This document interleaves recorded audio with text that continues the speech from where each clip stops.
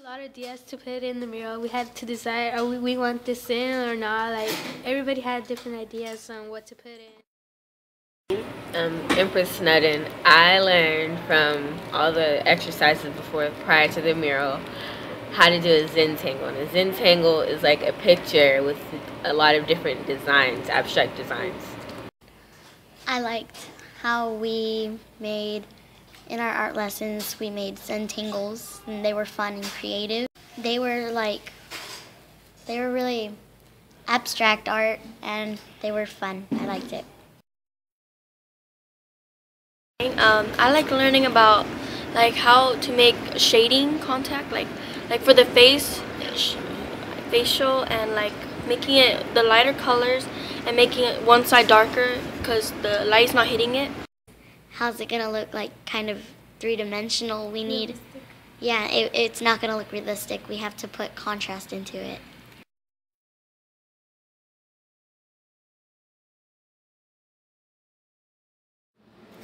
Hi, I'm Annie, and I learned from making the mural that if you make two colors mix, it will make a different color. Amanda Jean. Um, what I learned was how to blend in the colors to make something pop out more.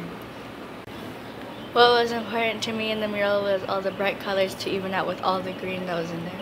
Uh, first, we started with, with no ideas what to do. We had just a plain canvases right there, but at the end, we had like bright, beautiful colors everywhere and all the stuff like that. I'll wait and um, yeah, I learned a lot about the perspective and how you make it look like 3D, realistic. Well, first we started out with the rough draft and then we had everybody's opinion on it to take out stuff and put stuff in and then we finally got our final. You'd say, what do you what do you guys want to put in it? What what are your ideas? And we'd all raise our hand like super excited and I'd have to tell everyone like I'd have to quiet them because they're all so excited to say what we wanted to put into the mural and yeah. So um, as a whole class, we, base, we brainstormed uh, ideas to put in the mural, and then um, what was important to me was that I wanted to be in the picture. Well, we actually just had people vote for what they wanted in there. Like they, they had people raise their hands like what they wanted.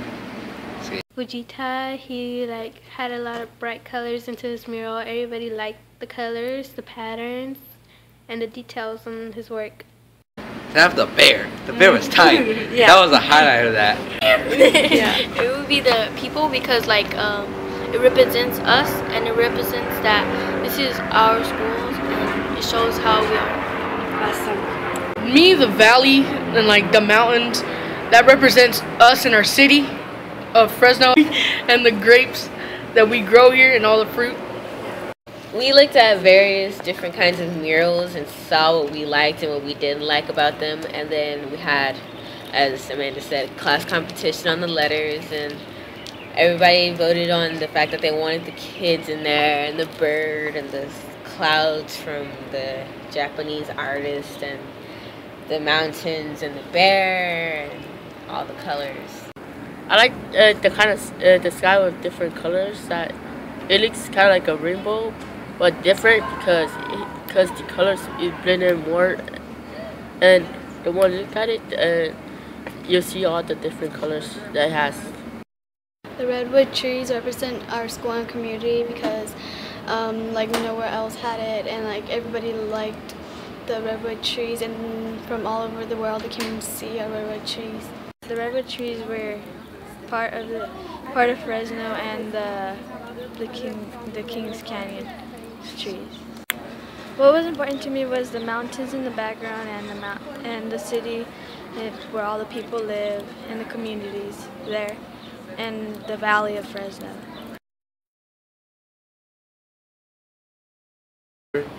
First we first we like made the made the picture, the idea into into squares and then we split it up and painted it into small parts so it'd be easier to make it bigger.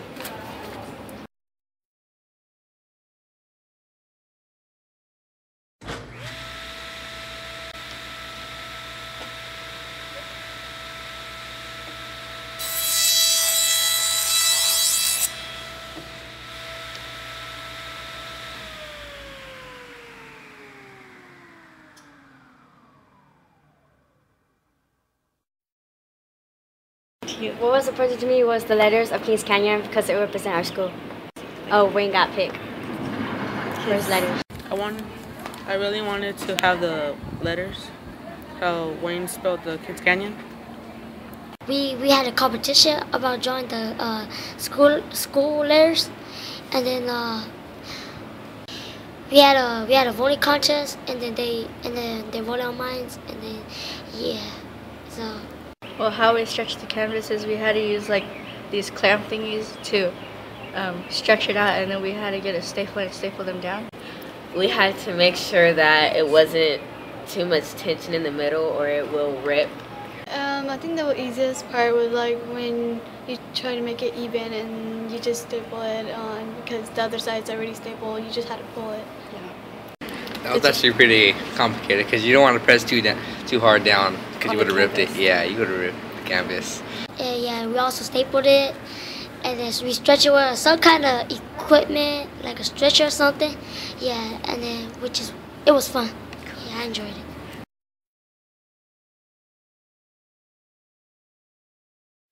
What I learned um, from the art lessons was how to do grid transferring. And what is that? That is like taking like a smaller picture and then turning it into a grid, and then taking that picture and then put it on a bigger piece of paper. Uh, we used the grid transfer. First we first we like made the made the picture, the idea, into into squares, and then we split it up and painted it into small parts so it'd be easier to make it bigger. I helped a little bit with doing the grid. I drew the grid onto the canvas. It was a ruler to see so we could make the squares match up with each other. Oh, the grid transfer into everybody do like a small part of the of the square, and then we just put it all together and paint it and make it the mural. Okay. Yeah, first we looked at the big grid and we looked at the smaller grid picture and then we copied it off. It was pretty easy. Okay. It was pretty easy because everybody already knew where it was gonna go.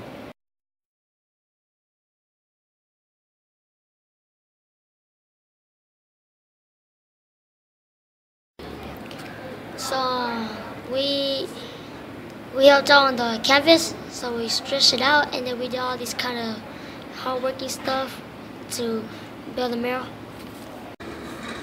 The the kids made up the uh, mind of adding the the uh, subject and the item, the people in it, and the artists uh, help us uh, to make it more balanced and to make it more equal, so it'll be uh, uniquely and everything will be more equal. The biggest thing that I learned was that not everyone likes the same thing. Everyone likes it different. What I learned the most was that we were working together and making a big mural, and all the detailing and everything, and how everybody worked together on it. I was really happy because it looked awesome. I didn't think it was going to look that great.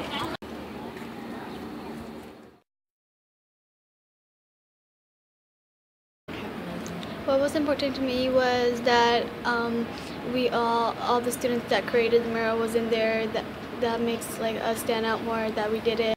I learned I learned a lot more than I knew before about portrait painting. It's important to me because it makes everything to come together, makes it look like one community. It's fun. The funnest part, I think, was the people, cause like how they look, like in the pictures, and then how we had to paint them. And I like the letters and like I like the fact that there was a, like a city line and the trees and the bear was bigger, it looked more furrier. I painted I painted some of the bear. I painted some of the trees as well. And I really liked the trees that I painted. Um, the thing I learned was like, like it doesn't matter if you make mistakes; they could always be fixed, and like just to have fun with it, you know, experiment. The part that I hated was was some of the clothing, the letters of the of Kings Canyon, and uh, and the hills of the valley. I think the students did most of the painting because we did all the drawings and paintings. I think the students did more work, but the artists did a lot of work too. They um, blended colors together. The artists helped by um, helping us mix the color and help us draw the people in. And I thought it was really nice that they that the artists got to help us with it because we wouldn't know what to do. We would have wanted to put random things into it, and you know, we we really it was really helpful having them here. No, it was a great process. The sky was uh, kind of hard because you had to keep mixing it and stuff. I really like how um, when uh, we all did um, the uh, skies, like we all painted the different colors, mixtures, and how it was like, how it was very pretty and um, my mom and dad went farming and it was late in the dark where I could see the um, beautiful colors of the orange, red, and yellow when the sun setting. I painted the trees, the clouds, the sky, and the grass. So I learned the most is um, spending more time and making art and, and having fun with uh, other people. I helped like like some paint on the people's clothing, on the grass, some flowers underneath, a little bit of the trees also, and on the sky, on the bird, on the clouds. I, I like the, uh, the, the crane.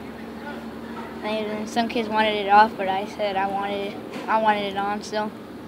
So they threw it in still. I put the highlights on the redwood trees and some of the flowers. I was painting the trees in the uh, right upper corner. And I got the idea of it because the brush is uh, not really stiff enough to make it look straight, so I tried to hold it over my hands to make it straight. I think the redwood trees were a good idea to put into the mural. They're really beautiful. And they have a lot of detail to, the, to them. I I was really not that good at painting until after painting the mural because Scott to told me the shading and all that. He taught me a lot of it. So yeah, because for the highlights and the shade and all that, the dark spaces. I painted the flowers and the um, grass. Um, what I painted on the mural was the trees um, and the and the grass, and I thought it was great because it, it looked pretty because it was creative how like we mixed a lot of colors to make it look realistic and I think it was really fun to mix the colors. To me, it was important that the, the idea of the city was was um, in the mural. Yeah, and I, I really like the part with the city and the lights, and the mountains and everything. That represents Fresno.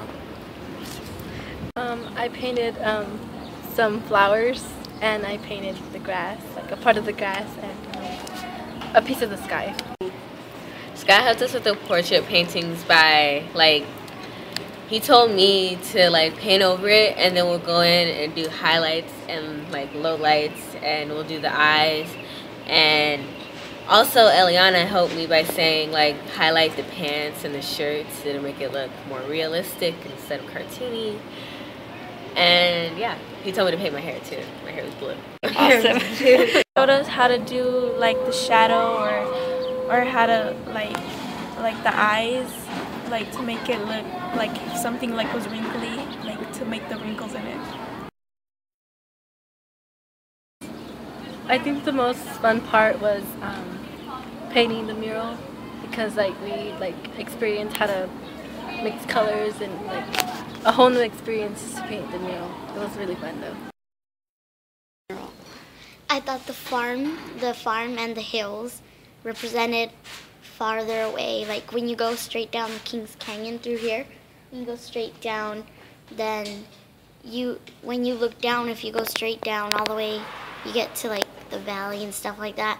You can see what exactly what it looks like because you can see the mountains and then you can see part of the city. It makes me feel proud and me and my classmate painted the the big mural. It takes a long time. Um, I was really happy because it looked awesome. I didn't think it was gonna look that great. I was proud of it because it's like in a museum. Like I would never think that some of my work would go in there. When I saw the final project, I got happy, really, because I've never made something so big and so important. When I saw my artwork in the museum, I felt honored that this happened to me and I got to put my work inside a museum. I felt it really played a big role for our school and made us look very good and we have a lot of good artists here. We did a good job on it. We deserved it to be in the, the museum. Um, I felt happy that I was a part of this, and I want to thank you guys for like helping us with this mural. Uh, it's it's great. I like it. I, I like how I work with the artist and then you know finishing a a big project and then hanging it up in the art museum so everybody can see. I feel great about it. Made me feel like an artist. The fun thing was painting the trees and the clouds and, and everybody in it. It was really fun.